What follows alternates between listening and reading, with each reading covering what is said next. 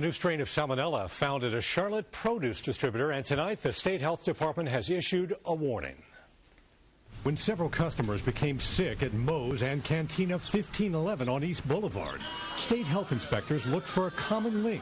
They discovered both purchased produce from Charlotte distributor El Campo. But when inspectors visited El Campo, they were surprised to discover jalapeno peppers and avocados contaminated with a different strain of salmonella. Tonight, we talked with a state epidemiologist. I think what surprised me the most was the fact that it wasn't the same, the Salmonella St. Paul. El Campo sells produce to restaurants and small grocery stores throughout North Carolina, no large grocery stores.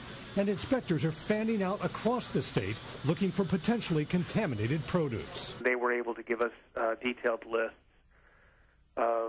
over 100 establishments. Inspectors believe the salmonella contamination in El Campo's produce is very limited and most likely originated in Texas. The contamination, we would conclude, um, in North Carolina appears to be limited and not widespread.